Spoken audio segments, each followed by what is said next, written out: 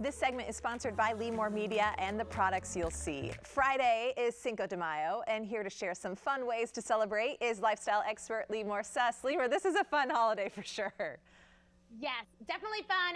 And, you know, it's a really great time to uh, meet up with your friends, enjoy some delicious food. Uh, I have some dips, I have some drinks. I've got you guys covered today. I love a good dip. It looks like you have a creative way of putting those together there. How did you do this?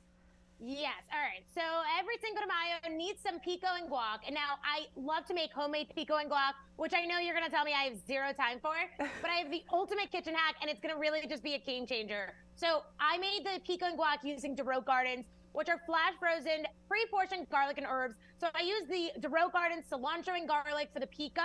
And uh, you just mix in some chopped tomatoes, jalapenos, onion, fresh lime juice, coarse sea salt. You mix it all together. It just tastes so fresh and so delicious. Now, if you want a homemade guacamole, it's a lot of the same ingredients. So it's the Dorot Garden cilantro and garlic, and then mash up the avocados, tomatoes, onion, fresh lime juice, coarse sea salt. It's just perfect to enjoy on Cinco de Mayo or really any day. And what I've done here is I actually took, uh, I made a nacho platter. So you just take some Tostitos, whatever, you know, whatever you want. Uh, then I have some, uh, the pico, the guac. I have some queso, some jalapenos, some sliced olives, and uh, just sour cream. Really easy, really delicious. Now, if you're not familiar, uh, you know, just to tell you a little bit more about the Dorot Gardens, it really is just so great because you can have fresh garlic and basil, dill, sauteed onions, ginger, all with a simple pop of the tray. You get it right in the freezer section of your supermarket, uh, and you just literally just like an ice cube tray, delicious garlic and herbs. And now you don't have to worry about rotting herbs in your refrigerator, and you can really get the Dorot Gardens, uh, as I mentioned, at your local supermarket, right at Safeway and at Whole Foods. And DorotGardens.com has this recipe and so much more.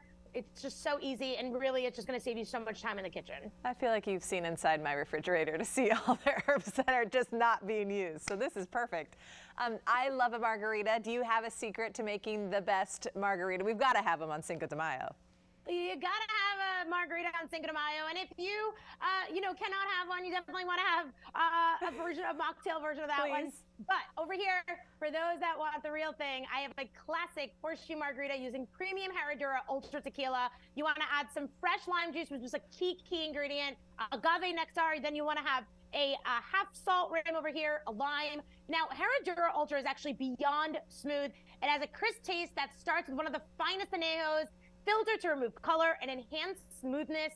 And Herradura is actually the only tequila distillery that produces its own barrels. Uh, fermentation is actually 100% natural and sustainable, making it one of the best companies producing tequila. Now, Herradura has been a pioneer in tequila quality for over 150 years, so you know they're doing it right. And you can visit herradura.com for more delicious drink recipes. Okay, you enjoy that for me this season I, then. I Thanks will, for the I reminder. For you. Thanks, Limor. We appreciate it. Thank you. I'll see you guys next time. Happy Cinco de Mayo. Thank you, too. And for more information, you can always visit limor.tv and make sure that you follow her on Instagram at Limor Suss.